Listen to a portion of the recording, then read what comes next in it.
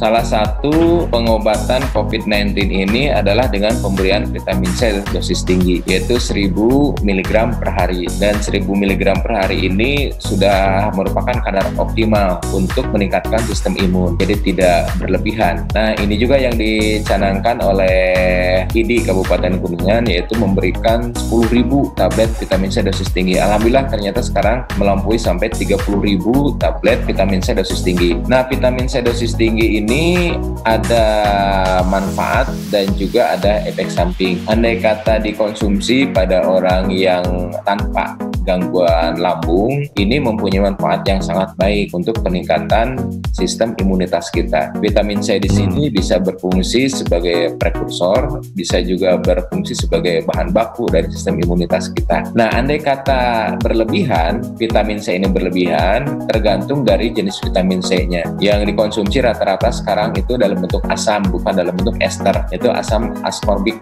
ascorbic acid. Bagi mereka yang mempunyai gangguan lambung, ini seakan-akan memang bisa menambah kadar asam di dalam lambung. Tetapi ini bisa disiasati ketika minum vitamin C-nya itu dalam keadaan lambung isi atau dalam keadaan lambung lambung penuh.